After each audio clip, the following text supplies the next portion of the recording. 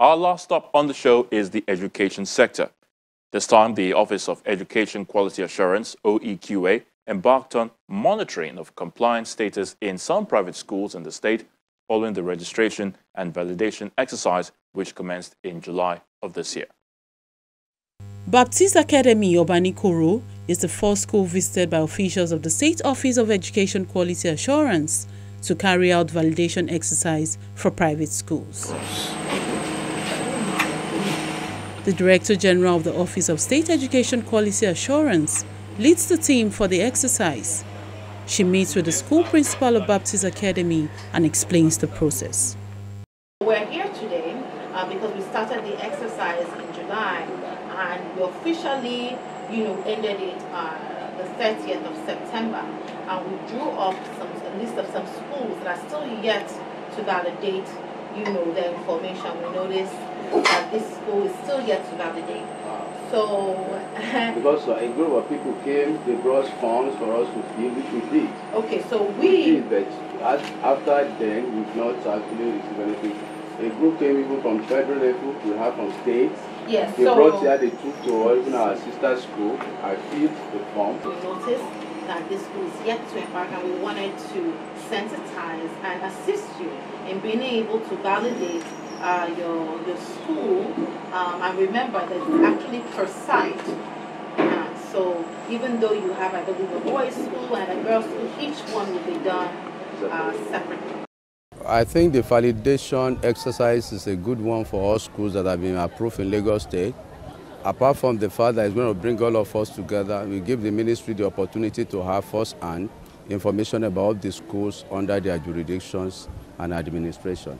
I think all schools need to do this so that um, we can be on the same page. The next stop is Baptist Girls Academy and the same exercise is carried out. I want to say it's a welcome development. We are happy that the Lagos State government remember their schools and that visit will go down in our history.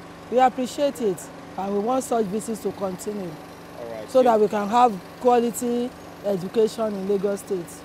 For the Director General Office of Education Quality Assurance, the exercise has helped the state government to keep adequate record of schools in Lagos and ensure quality standard of teaching and learning. Mr. Governor has really tasked the agency, the Office of Education Quality Assurance, uh, within the Ministry of Education to ensure that there's quality uh, all around when it comes to our schools. And um, in recent past, we've seen that there is a correlation uh, between um, investigative issues and uh, compliance of schools. As a result of that, we thought it was really important not just to have data, updated um, contact information data on our schools, but to have uh, a different layer of evaluation at the school level. Um, so we embarked in July, we embarked on uh, an automation uh, project where we went around schools and we gave them uh, the opportunity to um, to update pertinent information concerning their schools in both schools that have been approved within the uh, state and schools that are yet to be approved. Um, so this current exercise has started in July and the initial deadline, I believe, was August. Um, based on the uh, feedback we got, we decided to then extend it to September 30th as at recent.